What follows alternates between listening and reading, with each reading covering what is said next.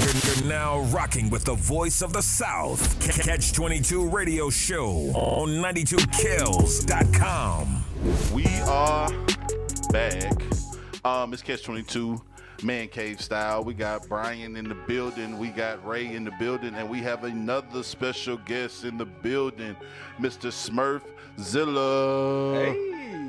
hey, what it is H time, man? Shout out to Catch 22 Radio, man. That's what I'm talking down. about, Smurfs man. in the bang game. We in the building, man. Bang Gang. Ooh.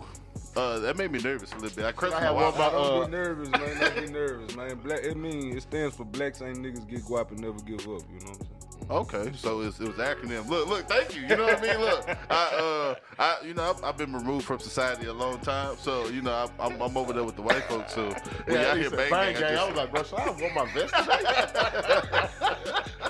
all right, man. So give give, give people a, a little bio of who Smurphzilla is, Hey, big man. Well, uh, I'm an artist, man. I uh, come from nowhere. You know what I'm saying? I, uh, you know, the, I got a gift from God, and I've been using it. You know what I'm saying? It's working for me, man. I, uh, I come from the streets, man, but I left that in the past, man. I just, you know, do this music shit, man, and speak my pain and my life story through this music instead of actually going do it now, you know. What That's- side of the city you from, man? I'm from the east side of Clint Pope, but I grew up in Mo City. So I'm originally, you know what I'm saying? Shout out Mo City. That's where all my supporters is, man. That's my second home, but it's like my real home. That's where all my supporters. That's real. All right, so since you you say you want you have like switched up like I guess life paths or career paths, like what do you feel? How do you feel like the support has been in the transition in life? Well, I just see God's work, you know what I'm saying? And I also see the devil's work too, you know what I'm saying? But, you know, God, you know, overcome, you know, all that, overpower the devil at any time. Or yeah, anybody out there trying to change their life, one thing I'm gonna tell them is that, man, you got to keep on doing it. Once the devil see you doing it, he going to take you harder than he would, so you got to be strong. Definitely. Uh, okay, you preaching on Sunday? Yeah, I was gonna I was, I was, I was, I was engaged, like, all right, he could tell me something powerful, man. See, y'all saw that bang gang, y'all ain't see this coming. No, I did. I did. I did. They always shock you. You know, like, it was the ones that be nervous of be like, yeah, God. I was like, I just said that somebody else. You know what's crazy when uh when the natural came and sat down, he said when I just got out the pen, I did about uh I think he said ten or fifteen years, He said twenty straight. I said, oh, straight. Yeah. day Yeah. for day, and the very next thing he said was blessings and wisdom that we all left up out of there with. yeah. Look at you judging dope. books by covers. Um, so based on, I guess, like your the, the way that you that you go you go by life, how does your music portray, like your your day to day life now? Actually, if you listen to the music, man, you my music can tell you a lot about the person I used to be. And like I tell, I told my niece the other day, she asked me, she said, Uncle, why your song so violent? I said, cause that's how I was thinking. You know what I'm saying? But don't do as I do or say, you know, do as you do. Do be yourself. You know what I'm saying? Do the right thing. You know what I'm saying? I use my music like I say, man. It's not nothing I do no more, you know what I'm saying, or nothing like that, but it's if I get pissed off, I go right, man, instead of going out there and getting in trouble. So sometimes my music may say I'm a bad guy, but I'm really not no bad guy. You know what I'm saying? It's just the way I put my thoughts into, you know, the paper and the pen, man. So do you think that when you put your, your thoughts into that paper and pen, that, that might have to come back to you? You might have to go back to that person, somebody try you, or listen to this music sometime, make you feel like I want to see if he really bought it. Yeah, see, that's something I already understand. I'm gonna have to go through. You know, so I'm mentally prepared for that. But uh, you know, I know I got God with me. You know what I'm saying? So I don't be tripping, bro. Like I just, I just go with the pace. I already know what it is. Sometimes you have to watch what you say too in the music, cause power the tune. I see mm-hmm. some of them things happening. You know, you know how they go. I say I'm ready. I say I'm ready for it. That's all good, man. Cause we was just talking about Kodak having to live a certain kind of lifestyle due, to, due to the stuff he says in his songs. Right. He can't be caught lacking, if you will. Right. So do you put yourself in that same boat as to where you won't be caught lacking? I, I don't I don't I don't really I try to mind my own business, bro. I try not to speak on other people's business. You know, like I don't agree with like with the things that Kodak said, but at the same time, you know, like he just said what other niggas was thinking. You know what I'm saying? The lady beautiful, it was just timing. He said it like maybe like a week too early. Like the man had just passed away, haven't even had a funeral service, and you talking about fucking this gal or whatever you say. Hold on, It Smurf. was Just timing. before we go any further, there's no profanity. Okay, okay, I'm sorry. I apologize. Because you was finna get I apologize. I apologize. Yeah, You good? But I felt the same thing. I said the same thing about Kodak. I, we all felt it. This is, we just, I guess it wasn't the right time to say. it. Yeah, no, I mean, it uh, was he was kind of a conversation with his partner. You know what I mean? Like, I we would have had that same conversation. It just wouldn't have been recorded. Yeah, that's real. You know what I mean? Um. So, is there any rappers you know, that you whether major or or local that you would like to work with that you haven't had a chance to work with? Oh man, I want to work with uh Ti. I want to work with uh Jadakiss. I want to work with Cassidy. And uh man, and in Houston, I want to work with any artists that's out here working. You know, 'cause Okay. that's like my favorite, you know, artists and rappers that I came up listening to. So I would still love to do something with them. For sure. So you you would still want to do a record with Cassidy? Yeah, that's my favorite rapper. Man. That's your favorite That's rapper. my favorite rapper. Dog. From battle rap or from music, bro? That's what I'm trying to See, figure out. he's my favorite rapper. See, T.I. my favorite artist. You know what I'm saying? T.I. Like, my favorite artist. Cassidy, Cassidy, I'm not gonna say he don't make great songs, but you know, like he, you know, his his specialty is battle rapping and you know bars. And, you know, I just like T.I. because he got a story behind his music. You know, the uh, the hook, the the verses back up to the hook. You know, that type of stuff. They looked at me weird when I said T.I. was my favorite artist. Well, I mean, the reason why he's my favorite artist is, is I look at his lifestyle. I mean, I don't know if it's, it's, it's real, but the, the persona he give us and what he show us, like with the family life and all that type of stuff, that's what. That, that, Yeah, that's one man now too. But I just ain't. I'm, I'm still on ignorant music, bro. I still ain't grown up. Right so I on. think that's my problem. Like the yeah, I'm on like the little babies, like all the stuff the kids listen to. I'm right there with them. I'm just as ignorant, bro. I Right just on. Mat- musically, I haven't matured, but I'm on the family life. But I, I listen to ignorant music. Musically, he a senior in high school, bro. Yeah, for sure. I can dig it. I'm Yeah, probably that's junior. what it is, bro. That's, ah, that's true. Yeah, man. All right, so if if you had to name, I guess your top five artists of all time, you know what I mean? No particular order, just your top five. Who would you say? I'm gonna say, uh, of course, Tupac, Biggie, Cassidy, T.I., Jada Kiss, and Ludacris. I'm. A, I would take. I would. You know. just got him excited for no reason. that's see, he just got excited for no reason. yeah, I mean, I like Ludacris a little better than Biggie, but you know, when I got older, Ludacris better than who? Biggie. Biggie. I mean, but you gotta hear me out though. No, So no. you gotta hear me out. See, I was a Tupac fan coming up because that's all my uncles used to listen to. So I Exactly. ain't never give Biggie no no chance until I got older, and I was like, man, he was on Pac ass. So that's why I had to mention him. But you know, if it was my top five, it would be without Biggie and Ludacris. So let me ask you a question. My only, my only, my only battle about the Biggie situation was that all of that was freestyle. So I think that if Biggie would have put his pen to some paper, it probably would have been untouchable. The things that Biggie was saying. I don't. I don't think it would have been untouchable. Some people can't can't write. He's still like untouchable right now with the shit he said, you know. But I mean, Luda was Luda killer with that pen. so bro. so Like, look, I- this I- the I thing. just- Like like Snoop said, like I didn't know how to write. Like going into music, like. Dr. Dre had to show me what a 16 was, what a 32 was. Like I just went in there and just wrote, boom, boom, boom, boom, boom, boom, boom.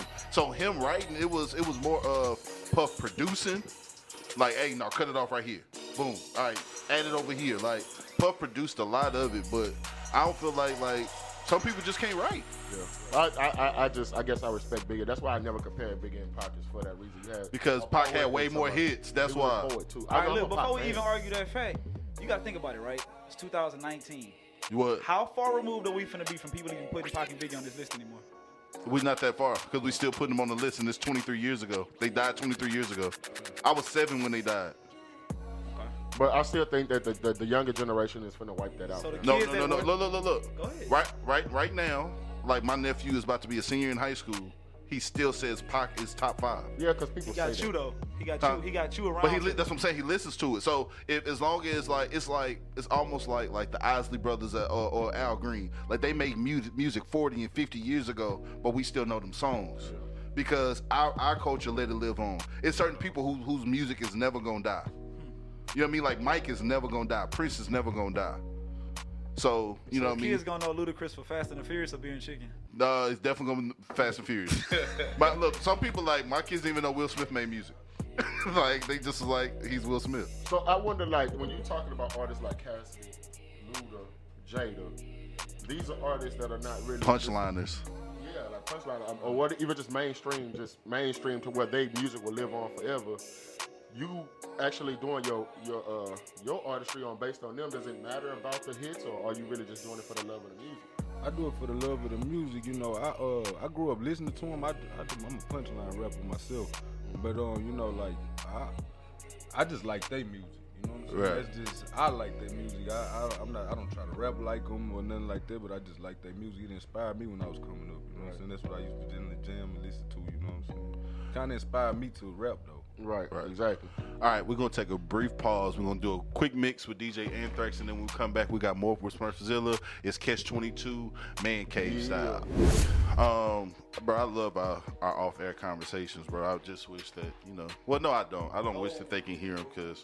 You know, uh, Raymond says a lot of un- uneducated things off That's air. not true. That's the most untrue. That's the most untrue thing. I say some wild stuff, but they're never uneducated. Uh, I think you just say big words in the process to make You it feel don't know the words. That educated. doesn't mean that I don't know the words. You don't know the words. Okay. Okay. Anyway, we back with Smurphzilla. Um, so we were talking about like I guess rappers and your favorite rappers. Right. Um, is there anybody that you would say that um you look to like when you are like because I know you say you have your favorite artists that you that you jam right, mm-hmm. but is there anybody like when you're in a time or place where you're not really like social, but you just like I just want to listen to this artist. This artist gets me to a place of comfort. Hmm. Zero. Me too, bro. Zero. me too. So why would you say zero? Because zero be on there like it's just me. Uh, f the world. Nobody loves me like I love myself. Hey, the older I get, the more I understand zero. You know what I'm saying? Because it's really like that. I used to say the same thing. I used to, man, why zero don't shake people's hands and you know why zero always talking about I'm one deep and then I'm doing this and then you your gal start tripping, your partner start turning on you, they start doing fake stuff. Then you go listen to zero because that's what that's who telling you all about it. Like the man really like a preacher or something. For sure. So would you I say agree. like that's your favorite Houston artist, or Uh, do you have Lil- another? Lil Flip, my favorite Houston artist. Wait, who? Lil Flip. How? Look, look, look, look, look, look. The reason why T.I. is my favorite artist is because Lil Flip was my favorite artist. No, I want to hear why. But We got the same story. And then he got beat. That's the So I same story. switched up. That's the same story, man. Shout out to Flip, man. He on my uh, my new single, man. man. I just like Lil Flip as a person, and I, that's really the only CD I ever bought, man. Was the Leprechaun when I was in The Leprechaun school. was hard. Yeah, it was hard. That's The- like the your partner was get beat up and you rock with the. I mean, like Leprechaun. I liked uh, Underground Legend was a was hard. It was hard. Uh, he had a lot of singles in the city. Like he was, he was Game Over was one of the biggest. It was one of the hardest. I did. Game just- over. This is the way we ball. Yeah. I can do that. Sunshine. Well, Uh, sunshine. sunshine, don't Sunshine. do that. Don't do that. No, no. Look, That was the way I any, messed him look, look, I would rather him drop Trojans and boxes before he dropped Sunshine. Sunshine. Yeah, for sure. You know what I mean? Yeah, it was. It So was how dope. you end up meeting Flip? Uh, man, when I was doing that challenge, I was doing the uh, the, the challenge was called the New Roy Challenge, and um, like it was like I was going against Trilly Pope, and it was probably about like nine o'clock, and I was down like fifty-one to forty-nine percent, and Lil Flip posted my video at one. And uh, and uh, you know, ever since then, you know, I just appreciated him. You know what I'm saying? Because that put twenty five hundred dollars in my pocket. Yeah. So and then uh, the rest of the challenges, the rest of the way, man, he posted the rest of them. and He really just showed me love, invited me to come over to the studio. Uh, actually, I've met him before that because I had won a contest that he was holding. Then I had, you know, when I went to jail or whatever, and when I came home, the same song that he wanted to get on, he actually got on it. Like, and he hit me up about getting on it, and it was a lot. Just, it was, That's just real. Appreciated that, dog. So do you do you feel like like in Houston you need that stamp of approval from a from a legend before like you can really like grow in the city or do you feel like people can grow without without that stamp of approval? Uh, you can grow and you can do it without it, but I mean, it's best to have it. I mean, it's called paying homage. I mean, I personally feel like I should give any artists that come. Uh, uh, well, at first, you know, in the beginning, give them a chance, you know, because you got to pay homage. Now, if they're ass, I mean, uh, uh, I'm, I'm sorry, if they, if you know, if they ignorant with me, I'll be ignorant with them. But like, yeah, I think that you should, like anybody should. I have artists that's coming from where I've come from that, that pay me homage, and I ain't even made it yet, you know. So it's like I have to do that. Like if I'm trying to be a leader of my community. So speaking of that, you know, we, we you know everybody's been on this this Nipsey vibe of, of, of building up the community and um, how do you feel? How do we reach back to our community without um, hurting ourselves? Because I mean, the same aspect, he was in his community, he built his community up, but it's the same community that took him from us. So how do we, in turn, like still give our community what what they need without it hindering us? Well, uh, that's a good question, first of all, bro. And um, I don't really think it's a way of doing it. I think it's just a chance that you take. You know what I'm saying? Because it, it's all about the reason you're doing it for. Like, I didn't even know that Nipsey was doing all that stuff until he passed away. And it's crazy, but the man was a good man, you know, all the way around the board. So he just basically sacrificed himself to make sure that we know and understand what's really going on in this world. He like to, that's gonna be the Tupac for the kids right now. I think Right. like like they're gonna look at Nipsey like we look at Tupac. And, you know, just listening to what he doing and uh, knowing what the stuff I was trying to do, you know, it was kind of similar. It was just on a smaller scale. So it was like, you know, gave me some, you know, ideas to keep on pushing. I ain't gonna lie, it affected me. It let me know anybody can get killed. Yeah, for sure. Sure. Anybody can get touched. So so so so being that, do you so because I, I said during during his during his demise, man, um, I think that he was so of a regular person that he didn't understand his celebrity. Right. Um, do you feel like that once you become on a certain certain plateau that you should move a different way, or do you just accept like what God has planned for you? I think that you should move a certain way because that's who God give you the answers in order to move that certain way. Uh, because you know, you know, and I I understand what you're saying about that because you know you have to know who you are and what you are. So some situations you just can't put yourself in, no matter if it's for the hood or for your homeboys or whatever it is. You know, it's type, it's like a hit and miss type thing. You got to pull up and burn off and just pray in the process. You know, but like as an artist, I would not go. I, I'll go back to my neighborhood forever, but it won't be like I would have before that man passed away. You know, it, it's even like that right now. Like I, I, I'm gonna stop at the store for five, ten minutes, shake hands, and I'm gone because you don't know who watching. you. Never give nobody a chance to make a phone call. Mm.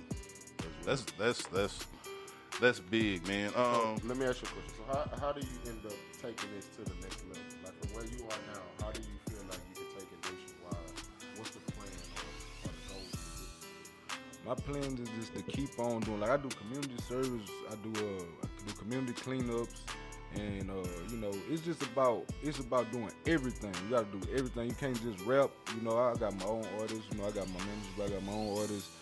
You know, it just you have to. I got my own clothing line. You got to sell clothes, man. You got to get your posters. You got to get back out here with the old school CDs because there's some people that still got radio CD players.